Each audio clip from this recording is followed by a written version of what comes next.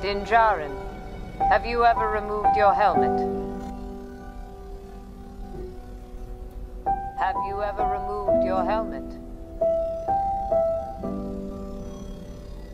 By creed, you must vow.